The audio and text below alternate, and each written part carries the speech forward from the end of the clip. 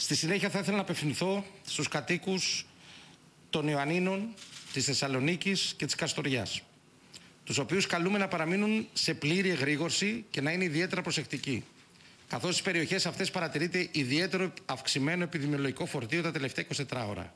Φορτίο το οποίο θα αξιολογηθεί από την Ειδική Επιτροπή Επιδημιολόγων του Χάρτη Υγειονομικής Ασφάλειας και Προστασίας από τον COVID αύριο, Τετάρτη, στις 5 το απόγευμα. Αξίζει να σημειωθεί ότι η Θεσσαλονίκη με 652 πλέον ενεργά κρούσματα βρίσκεται σε επίπεδο 2 επιτήρησης. Τα Ιωάννα με 263 ενεργά κρούσματα και η Καστοριά με 124 ενεργά κρούσματα βρίσκονται στο επίπεδο 3 αυξημένης επιτήρησης.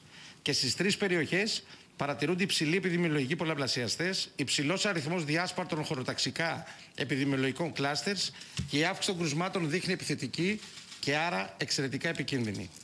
Σας ενημερώνω επίσης ότι στο πλαίσιο του καλύτερου συντονισμού των ενεργειών όλων των εμπλεκόμενων φορέων θα μεταβώ αύριο στην Καστοριά για να συμμετέχω στη μία το μεσημέρι σε σύσκεψη με τον Περιφερειάρχη Δυτικής Μακεδονίας, τον Αντιπεριφερειάρχη Καστοριάς και τους τρεις δημάρχους της περιοχής,